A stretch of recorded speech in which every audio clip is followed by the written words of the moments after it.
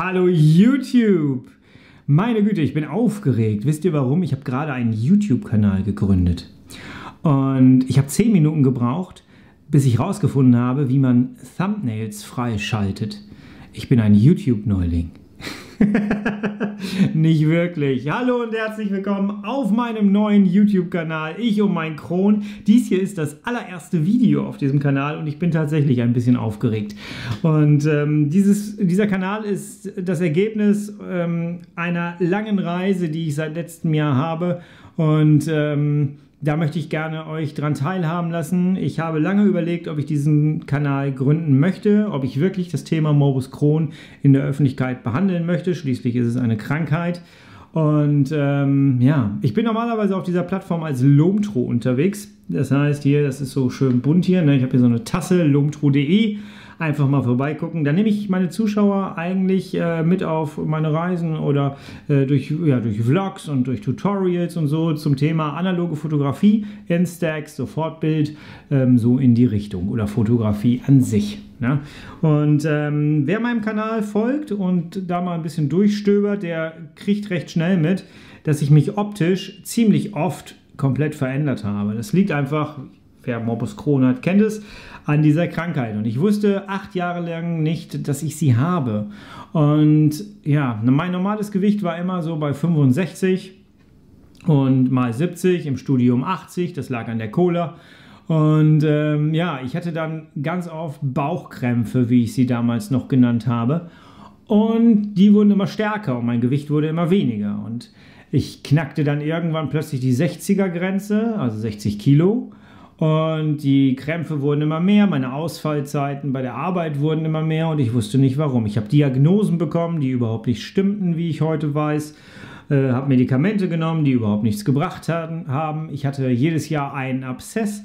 Ich wusste nicht, wo es herkam. Ärzte sind nicht stutzig geworden. Ich frage mich heute, warum die nie stutzig geworden sind. Aber das Thema lassen wir. Und ähm, ja, was soll ich sagen? Irgendwann bekam ich dann die äh, Diagnose. Da hatte ich dann aber schon ein Gewicht von 55 Kilo. Da machst du nichts mehr. Und ich weiß noch, dass ich damals vor meinem Arzt gesessen habe und gesagt habe, so, jetzt müssen wir was finden, weil sonst bin ich irgendwann tot. Und ich sollte sehr recht behalten damit. Denn äh, ich bekam dann die Diagnose Morbus Crohn. Leider hatte ich nicht mehr so die Zeit, mich damit auseinanderzusetzen, was ist das und so. Und ähm, denn ich habe dann plötzlich einen Darmriss bekommen und bin im Krankenhaus aufgewacht, hatte eine Bauchfellentzündung, eine Blutvergiftung, alles Dinge, die man keinem wünscht. Und ich hatte einen künstlichen Darmausgang und der hat mich ganz schön auf Trab gehalten, muss ich sagen. Aber er hat mein Überleben gesichert. Und mittlerweile ist es so, der Darm ist wieder zurückverlegt worden. Und zwar im Februar. Heute haben wir Anfang Juli. Und mein neues Leben beginnt. Und das ist wirklich mega spannend, aufregend, beängstigend. Und ja, vor mir liegt eine lange Reise. Ich habe ganz, ganz viel ich musste sehr viel liegen und sehr viel zu Hause bleiben und so und habe diese Zeit wirklich genutzt, um mich weiterzubilden in dem Thema, habe sehr viel gelesen, mich sehr viel mit Ernährung beschäftigt, ähm, bin dann zu dem Entschluss oder bin kurz davor, den Entschluss zu treffen, tatsächlich auf vegan umzusteigen, weil ich einfach für mich erkannt habe, dass das tatsächlich anscheinend die einzige vernünftige Ernährungsweise ist, die zu mir und meiner Situation passt. Und ja, das hört sich alles für mich erstmal sehr, sehr spannend an, weil alles neu ist. Ich muss mir einen neuen Job suchen. Ich habe gesagt, ich bin Co systemischer Coach. Ich habe über zehn Jahre lang mit Menschen gearbeitet in der Beratung.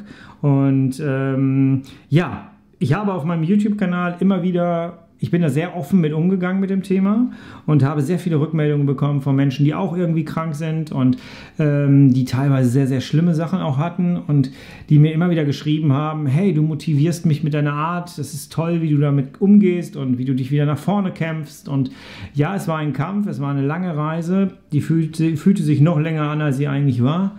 Und ich habe aber gemerkt durch die Rückmeldung, ich gebe Menschen etwas damit. Und ich für mich habe auch erkannt, dass diese Krankheit meine Rettung war.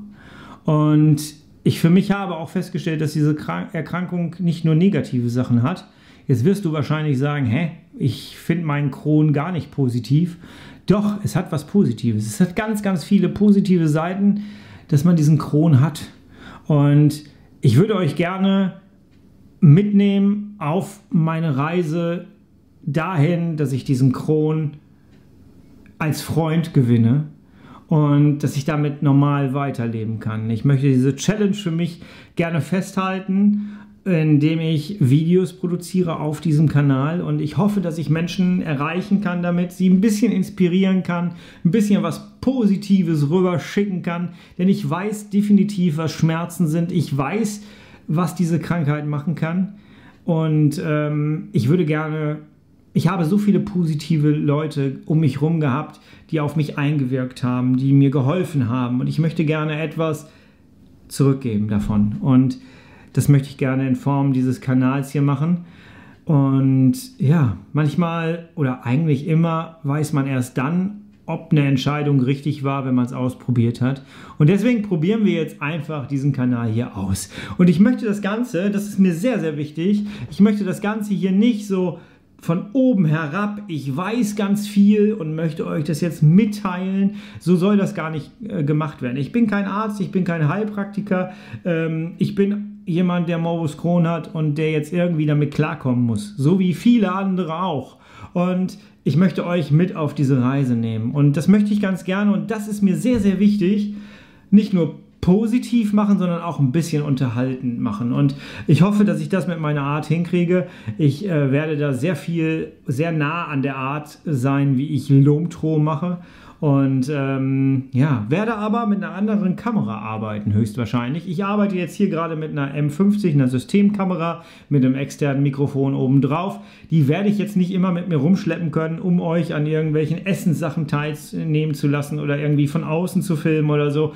Das werde ich nicht tun. Ich habe aber eine andere Kamera und zwar die G7X. Meine, mein treuer Begleiter eine ganze Zeit lang, viele Jahre lang, nee, viele Jahre nicht, aber ein paar ich glaube, zwei Jahre meines Kanals. Und äh, die möchte ich gerne nutzen, um euch mitzunehmen durch meinen Alltag, ähm, neue Erkenntnisse rüberzubringen. Ich habe mir vorgestellt, dass ich erstmal nicht mit aufwendigen Produktionen anfange, sondern ich möchte gerne erstmal anfangen mit so einem Video hier und ähm, dann vielleicht so äh, themenspezifische Videos. Ich werde erstmal so mit fünf Minuten anfangen, jeweils pro Video und äh, werde einfach mal so ein paar Sachen raushauen, die mir weitergeholfen haben. So einfache Sachen wie, welche Bücher habe ich gelesen, wo habe ich mein Wissen her, wie habe ich mich organisiert und so. Solche Sachen würde ich ganz gerne erstmal rausbringen und ich würde gerne diesen Kanal hier, am Anfang werde ich wahrscheinlich erstmal sehr alleine sein. Ich hoffe, dass ich ein paar Leute von Lomtro mit hier rüberziehen kann, die ein bisschen Interesse daran haben, was ich sonst noch mache. Seid herzlich gegrüßt an der Stelle. Und ähm, ich habe Lomtro immer so geführt, dass ich meine Community mit eingeladen habe, sich mit einzubringen und den Kanal mit zu gestalten. Und in meiner Traumvorstellung machen wir das auch mit diesem Kanal hier. Wie gesagt, ich äh, möchte das nicht von oben herab machen, sondern ich möchte euch mit auf meine Reise nehmen. Und ich werde viel Quatsch machen wahrscheinlich. Ich werde viele Dinge ausprobieren, wo andere wahrscheinlich sagen, boah, muss das sein? Ähm, aber lasst mir dann eure Erfahrung gerne in den Kommentaren da. Und vielleicht kriegen wir es irgendwann hin, dass dieser Kanal so ein bisschen wächst und dass sich dann unten drunter auch so eine kleine Community bildet. Ich wurde vorgewarnt. Mir wurde gesagt, dass wenn man das Thema Ernährung auf YouTube anspricht, dass das manchmal sehr merkwürdige Menschen anzieht. Ich gebe euch eine Chance, das zu widerlegen.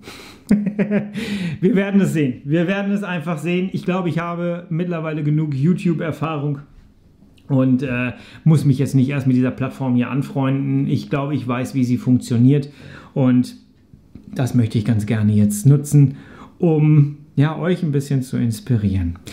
Deswegen lass gerne ein Abo da, wenn du das jetzt hier siehst. Und ähm, ja, ich freue mich drauf und ja, dieser Kanal wird für mich so eine Art Tagebuch sein, ähm, wo ich in zwei Jahren vielleicht nochmal drauf schaue und dann mir selber angucke, was ich alles hinter mir habe.